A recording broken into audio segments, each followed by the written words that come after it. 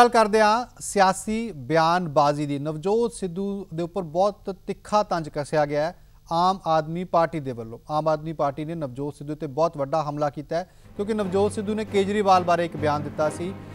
ਤੇ ਰਾਘਵ ਚੱਡਾ ਨੇ ਕਿਹਾ ਕਿ ਨਵਜੋਤ ਸਿੱਧੂ ਪੰਜਾਬ ਦੀ ਸਿਆਸਤ ਦੇ ਰਾਖੀ ਸਾਵੰਤ ਬਣ ਗਏ ਨੇ,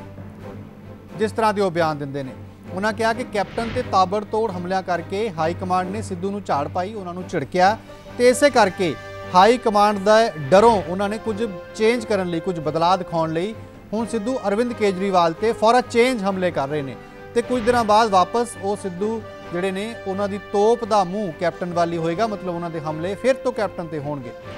ਉਹਨਾਂ ਇਹ ਵੀ ਕਿਹਾ ਕਿ ਨਵਜੋਤ ਸਿੱਧੂ ਨੂੰ ਪੰਜਾਬ ਦੀ ਸਿਆਸਤ 'ਚ ਕੋਈ ਵੀ ਗੰਭੀਰਤਾ ਨਾਲ ਨਹੀਂ ਲੈਂਦਾ ਕੋਈ ਸੀਰੀਅਸਲੀ ਨਹੀਂ ਲੈਂਦਾ ਸਿੱਧੂ ਦੇ ਬਿਆਨਾਂ ਨੂੰ ਤੇ ਉਹਨਾਂ ਨੂੰ ਰਾਖੀ ਸਾਵੰਤ ਕਹਿ ਦਿੱਤਾ ਹੈ ਰਾਘਵ ਚੱਡਾ ਨੇ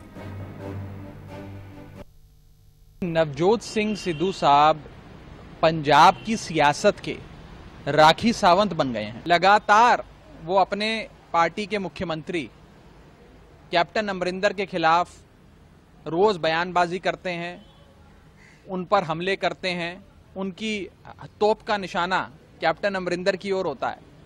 जिसके चलते उन्हें कांग्रेस हाईकमांड से बहुत डांट पड़ी। और डांट का असर ये हुआ कि आज फॉर अ चेंज, एक बदलाव के तहत उन्होंने अपनी तोप का मुँह अरविंद केजरीवाल जी की ओर मोड़ दिया। और आज अरविंद केजरीवाल जी पे अटैक करने लगे हमले करने लग गए। कुछ ही दिनों की बात है, एक आध दिन में आप देखेंगे कि इनकी नवजोत सिंह सिद्धू जी की, जिन्हें पंजाब पॉलिटिक्स का राखी सावंत कहा जाता है, उनकी तोप का मुँह फिर कैप्टन अमरिंदर की ओर आ जाएगा और वो फिर